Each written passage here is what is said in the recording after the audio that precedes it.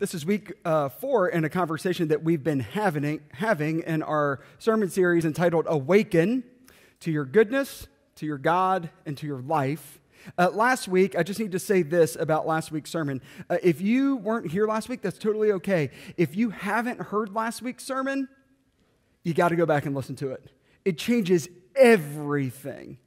What a gift it is to have Danielle Shroyer uh, on staff with us for the next six months as our uh, scholar in residence. Her sermon on who Jesus the Christ is and has been in our life, I have to tell you, I've been thinking about it all week. It's been challenging uh, my assumptions that I've held uh, for my entire life, but it's also been inviting me into deeper and fuller expressions of God's love. And uh, if you haven't listened to it, go back on our website and listen to it today. Um, today, we are, like I said at the very top of the hour, going to examine this notion of original sin. It's something that we have carried around with us in one form or fashion our entire lives. We're going to talk about uh, what it is, where it came from, why it's here, and who it points God to be and who it points us to be. We're going to uh, mirror that refrain throughout our entire uh, sermon lesson this morning. And our scripture lesson is going to come in the middle of that. So Friends, as we prepare to hear the word read and proclaimed, listen now for the word of the Lord, and may, us, may we attune our hearts and minds to what Spirit is saying to us. Let us pray.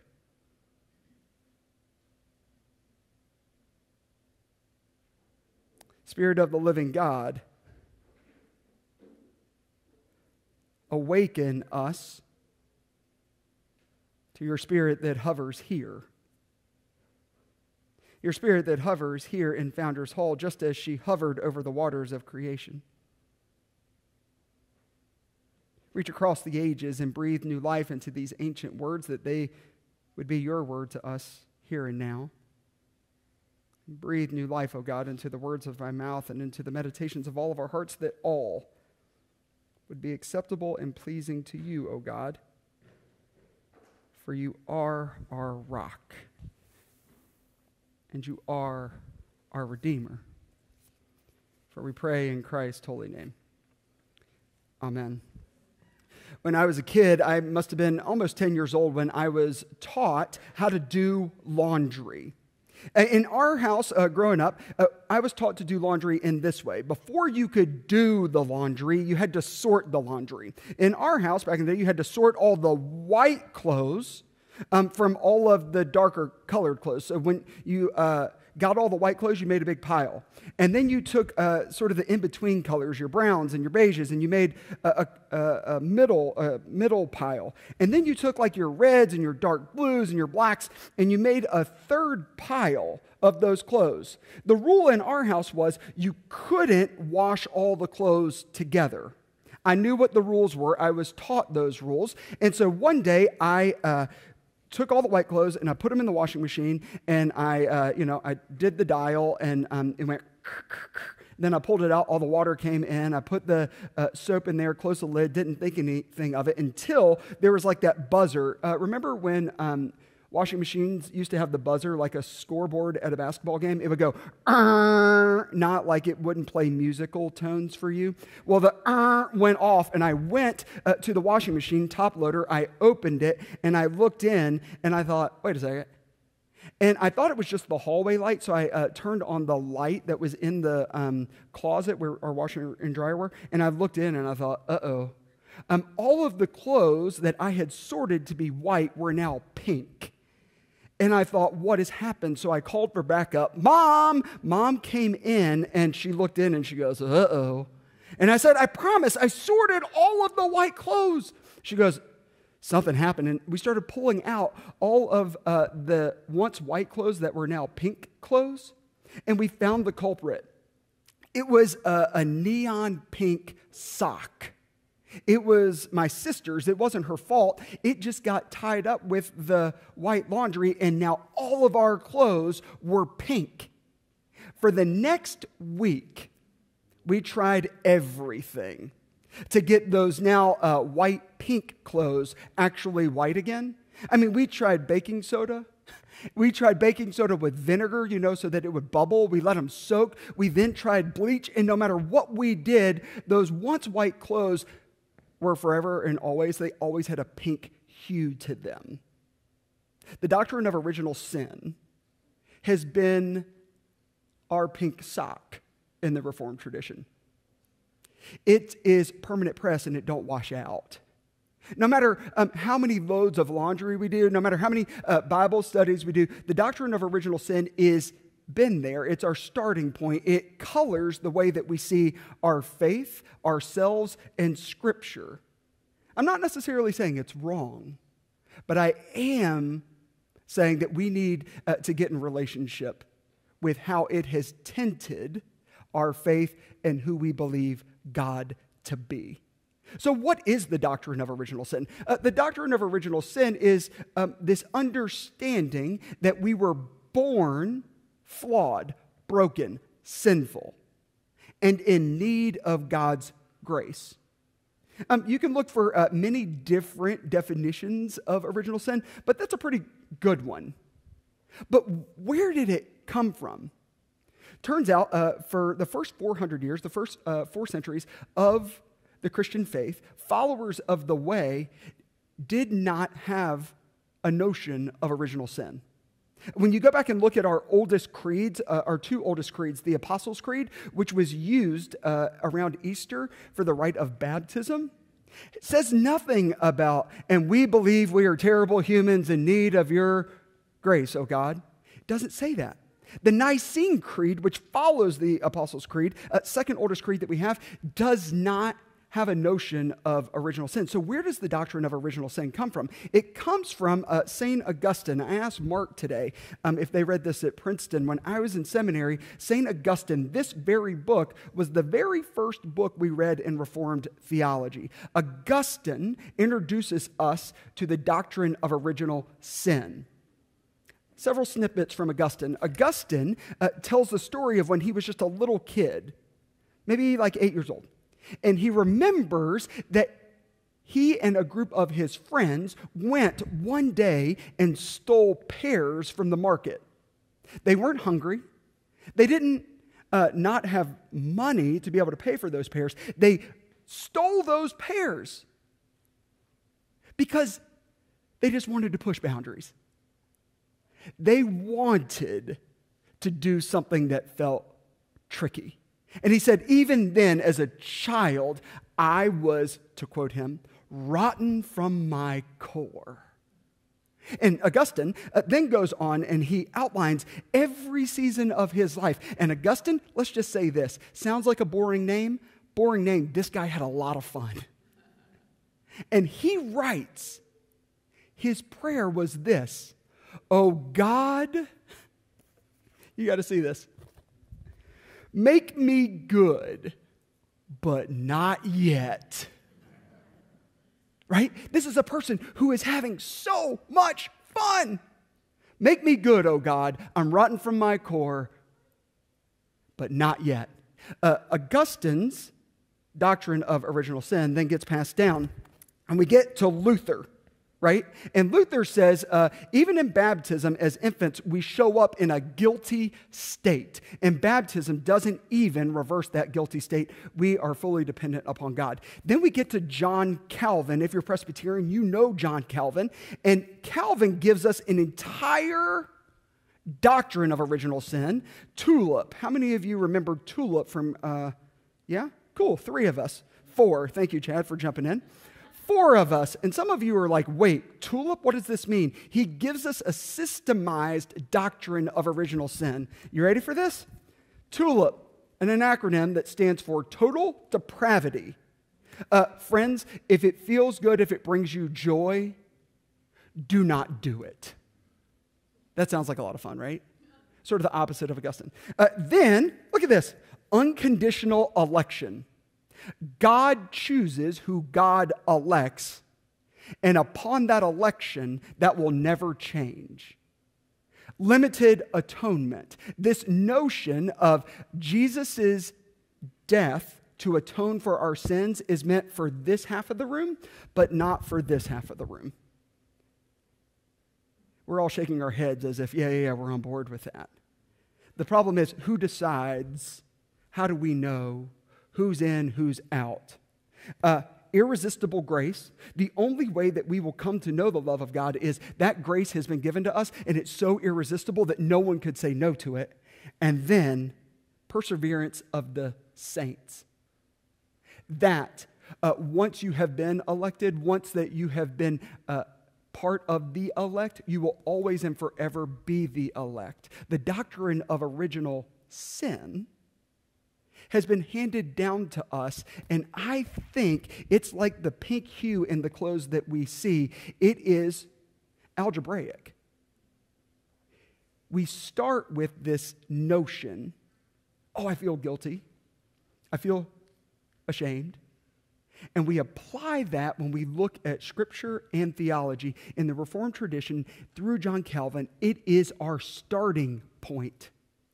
It's why Calvin argues that uh, the prayer of confession is central to our worship experience. But what is sin? And what does this tell us about who God is? Because uh, in original sin, it says that God is a God who makes some elect and some reprobate. There are some who are going to be in right relationship with God, and there are others who are not. And how we uh, determine this, it's up to God. But what if this notion of original sin, we've gotten off just a little bit? What if there's a different way for us to live in relationship to this doctrine? Most people uh, say that the doctrine of original sin originates in the garden. Eve eats the apple, uh, and everyone, forever and for always, is sinful because of that act. Then we turn to uh, chapter 4 and we turn to the story of Cain and Abel, which we're going to read here in a second. And this is how that sin is lived out in the next generation. And then we use it algebraically to say, and we come from that tree, therefore, this is uh, why we are sinful. It's handed down through generations. Let's re examine this text, though. Listen uh, now for the word of the Lord to all of us from Genesis 4. Now, the man, Adam, knew his wife, Eve. And she conceived and bore Cain, saying, I have produced a man with the help of the Lord. Next, she bore his brother Abel. Now, Abel was a keeper of sheep, and Cain a tiller of the ground. In the course of time, Cain brought to the Lord an offering of the fruit of the ground. And Abel, for his part, brought the firstlings of his flock, their fat portions. And the Lord had regard for Abel and his offering. But for Cain and his offering, he had no regard. So Cain was very angry, and his countenance fell. The Lord said to Cain, Why are you angry? And why has your countenance fallen? If you do well, will you not be accepted? And if you do not do well, sin is lurking at the door. Its desire is for you, but you must master it. I'm going to repeat that line because I want, I want you to know this. The word sin, as we have interpreted it, shows up for the first time in Genesis right there. The word sin has not shown up in the narrative anywhere until right here. Pay attention to where sin is located because we're going to come back. I'm going to read this line. And if you do not do well, sin is lurking at the door. Its desire is for you, but you must master it. Cain said to his brother Abel, uh, Let us go out to the field. And when they were in the field, Cain rose up against his brother Abel and killed him. Then the Lord said to Cain, Hey, uh, where, where's your brother Abel? He said, I do not know. I mean, am I my brother's keeper? And the Lord said, What have you done? Listen, Listen.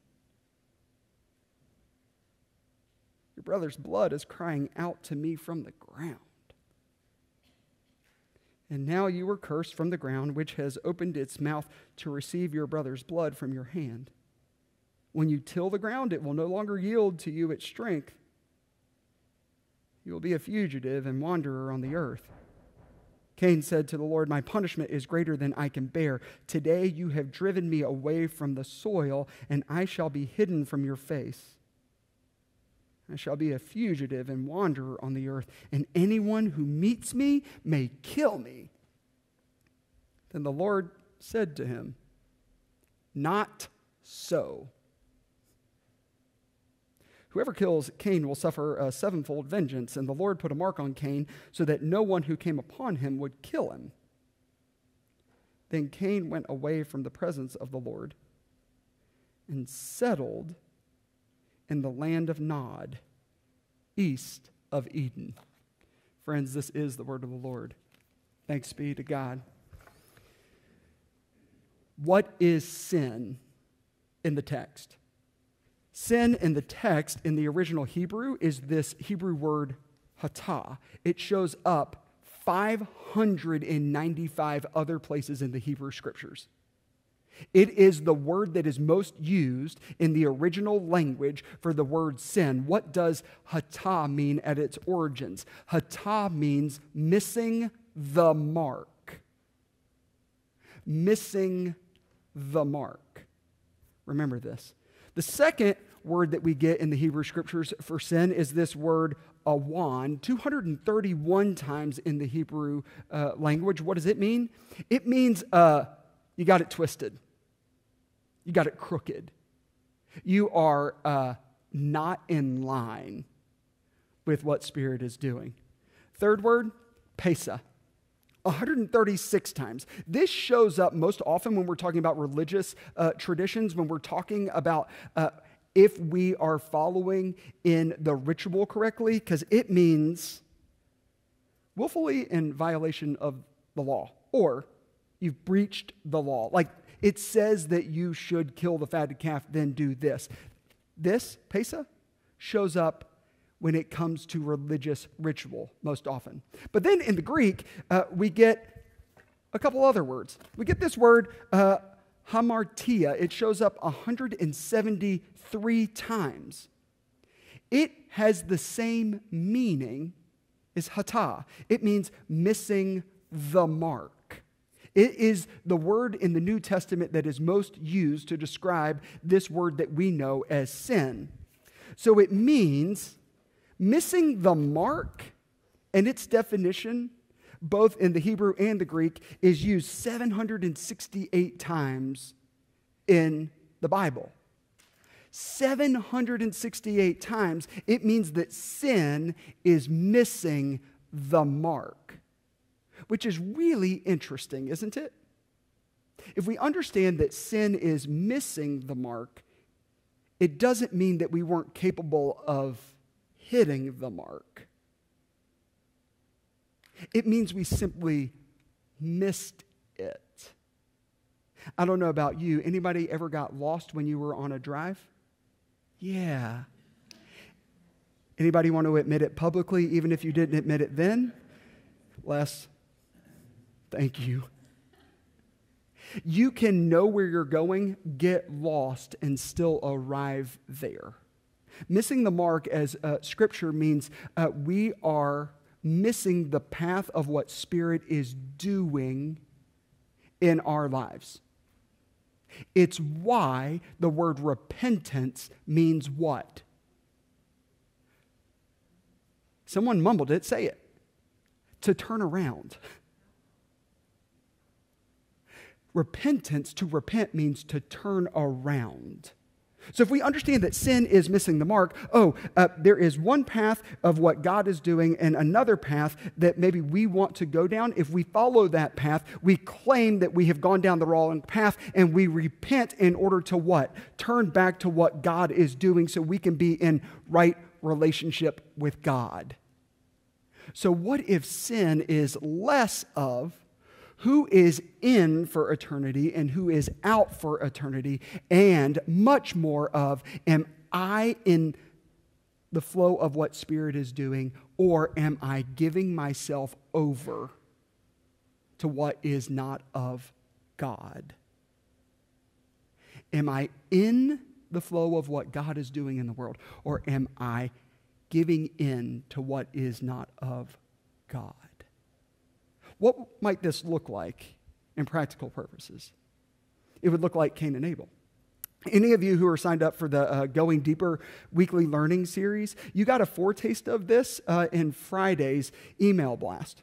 There's an ancient midrash. Midrash is a Hebrew word for interpretation. Ancient midrash on Genesis uh, 2, 3, and 4, chapters 2, 3, and 4. And that ancient midrash says uh, this is a story in Genesis 3, the garden, from children becoming adolescents. It's a story of awakening to your own consciousness and to a world that is bigger than you ever knew. And Genesis 4 is the story of about how adults live out the knowledge that they can choose between good and evil. The Midrash says that Genesis 4 is a story that says, oh, you have been given this freedom. And you are free to choose. But know that those choices have real consequences. They can lead to life, they can also lead to death. So we learn of two brothers. Turns out uh, being in relationship with your family is hard. It's been that way since the beginning. And what happens with Cain? It's not that Cain is not beloved. Cain uh, sees that his brother Abel is somehow special. And it's not, oh, it's not enough for Cain to be beloved. He wants to be special. Let's don't confuse belovedness with favor. That's a sermon series for another day. Okay? And I'll just go ahead and preach that sermon now. I don't know. I don't know how any of that works. But what I do know this is this. Cain is not okay with his belovedness and he wants something more. He wants to feel selfish. I mean, not selfish. He wants to feel special. And in pursuit of that specialness, he becomes selfish. And he misses the mark in not only knowing who he is, but where he is following the divine, and he kills his brother. And when we think we know how this story is going to go, God doesn't condemn Cain forever. Cain condemns himself. He says, How am I going to bear this burden? How am I going to walk with this hurt all of my life? Anyone that I encounter now, when they know that I have killed my brother, they will have the right to kill me. And what does God do? God marks Cain. God blesses Cain, doesn't bless what he has done, but he blesses him and he says, You will be safe. So this story is less about uh, our original sin and much more about a God revealing God's original bless- blessing and showing up to remind us of that blessing. And showing up to say, uh, you missing the mark may cry out from the soil. You missing from you missing the mark may feel like you can't go on, but that is not the end of your story because that is not who you are at your core. Who you are at your core is a beloved child of God. Friends, we do that every time uh, we baptize an infant here at Preston Hollow. We come to this beautiful font, we pour water into it, and there are um, just beautiful parents who then most often hand over an infant to us. And when they hand over uh, that infant, um, I always say, By what name shall that child be baptized? And Reagan, here's what's crazy. I take that child into my arms, and before I baptize them, I don't say, And so, um, what do you think they're going to get on their SAT? Who do you think they're going to marry? Where do you think they're going to go to school? How much money do you think they're going to make? You think they're going to actually be president or you think they're going to get a Nobel Peace Prize? None of that matters in the water. Because in the waters of baptism, we affirm this deeper belief that long before we knew who God was, long before we actually could use words to say what our favorite food was or what our parents' real first names were, long before we had that consciousness, God reaches out and claims us as God's own. And we know that there are going to be seasons when we don't miss the mark and we're going to live in right relationship with God. And it's going to feel like we are in the flow. But then we know, right? You've lived long enough to know that there are going to be seasons of our life where we are going to be doing this. That we're going to be missing the mark and we're going to be letting go of God, but it has not changed what? That God has first reached out and claimed us. Friends, what if it's not original sin, but what if it's original blessing? What if that is the thread that has been with you your whole life, like Danielle said last week? What if that is the invitation for us to awaken? How might this good news not just change what you believe? How might that invite you into deeper pathways of belonging? At the office, in your marriage, in your family, your friendships. I have a friend, and uh, she has a younger son. And whenever she would uh, go out of town, her son would get really nervous. He would say, uh, Mommy, I, I'm just scared. I want you to come back. And so every time before she would go out of town, uh, she would sit down with her son and she would say, Mommy's going to leave. And he would say, Mom, but I'm so scared. And she said, But remember, you and I used to be connected by a cord. That's how you had your oxygen, that's how you had your food. But one day we had to cut that cord so that you could come into the world. But even though we cut that cord, there will always be a cord between you and me. We will always be connected no matter where I go, no matter where you go. That cord of belonging is there. And this little boy would say, So even when you're away, that cord is still there? Yes, yeah, sweetheart. And even when you come home, yeah, that cord will be there. Friends, uh, from the very beginning, God has looked upon you, has looked upon uh, all of us and said,